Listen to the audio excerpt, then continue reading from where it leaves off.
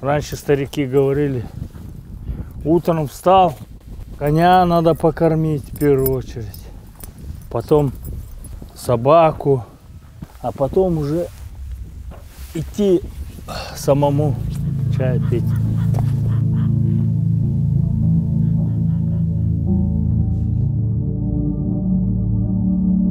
Вообще, это называется точка. Я вот думаю, наверное, называют, потому что на карту, если сверху смотреть, вот этот дом, кошара, все смотрится как точка. В нашей культуре столько песен, лошадиная тема там звучит постоянно. Неважно, о чем эта песня, о любви, там, о родине.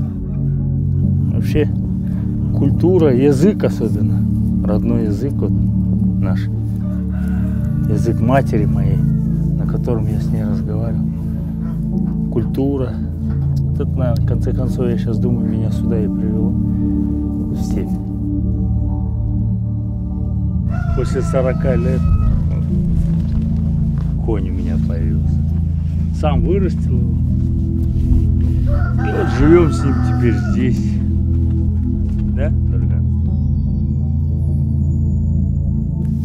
Самое главное, я думаю, богатство, которое нам оставили наши предки, это вот эти земли, вот эти. Старики раньше говорили, ертең бәхлә күнезін қазараң арқылы нохаледіл. Дома, короче, ты всегда как хозяин себя чувствуешь. А на чужбине ты гость всегда, чужой человек что каждый выбирает. И говорят, что счастье это когда человек удовлетворен,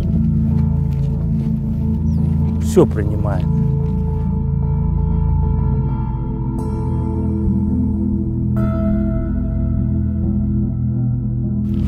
Я думаю, счастье, что мы все-таки для меня счастье, что я родился в этом народе, что я могу слышать это все, думать над этим, размышлять.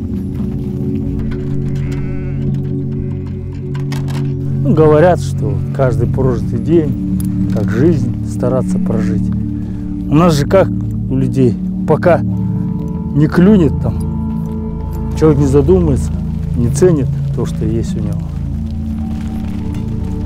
Ну хотя бы иногда э, надо думать, да, что жизнь, она же бесконечна.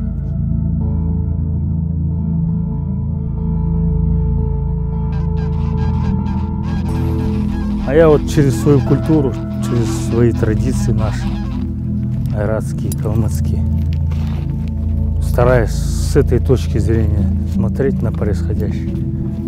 На самом деле ведь ничего не меняется особо в человеческих отношениях. Меняются только технологии.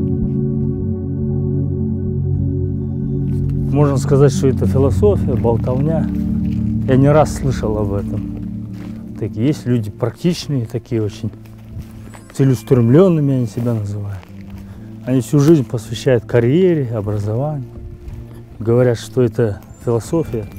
А философия, что такое философия? Это и есть сама жизнь. Трудности есть, конечно. Сельское хозяйство, оно всегда зависит от природы, от дождей, там будет дожди, не будет. Но если все воспринимать так, немножко по-философски, скажем, тогда, конечно, легче все переносится. Понятно, что надо что-то делать. Если есть проблема, надо ее решать. Вот у животных я смотрю, я в степи игру, вот, с животными, когда общаешься, скажем, внимательно если наблюдаешь за ними, у них многому можно научиться. Они пугаются того, что можно действительно испугаться. А люди выдумывают себе страхи и носятся с этим всю жизнь. Правильно? Некоторых это переходит вообще в болезни. А ну поцелуй меня. Она целуется, видишь? Но сейчас я, конечно, я не скажу, что я вообще ничего не боюсь, там, как-то так. Ну, когда ты понимаешь, да, вот той же смерти бояться, если она придет, она придет к любому.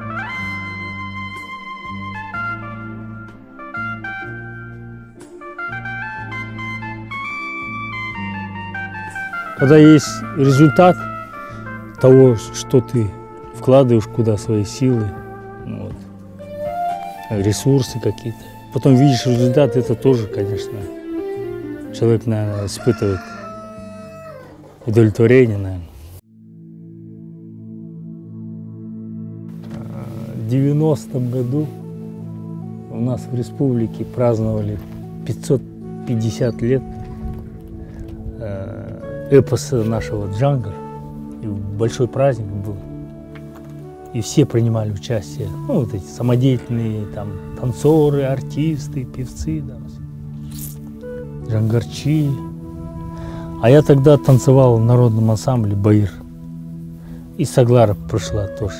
Набирали девушек, парней, чтобы пополняли, скажем, ансамбль. И вот она пришла с подругой. И нас поставили танцевать с ней в одну пару. И вот так мы с ней познакомились. И вот уже почти на следующий год 30 лет будет, как мы в одном танце так и танцуем.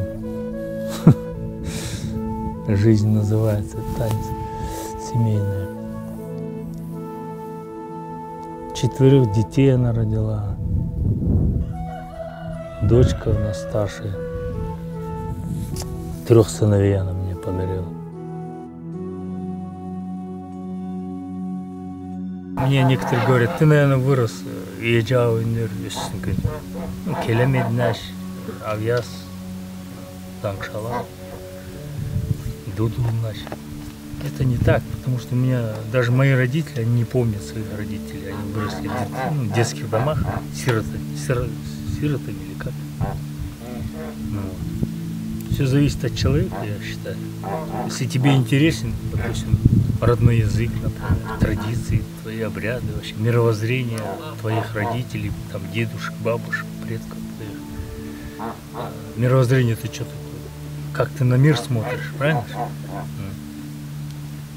М. Отношение к жизни, к смерти, к природе, к животным, ко всему вообще, к людям.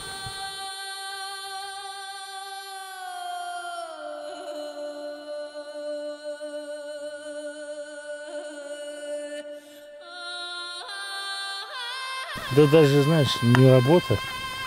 Я вот пришел к этому. Не как работу воспринимать, а как жизнь. Просто жизнь.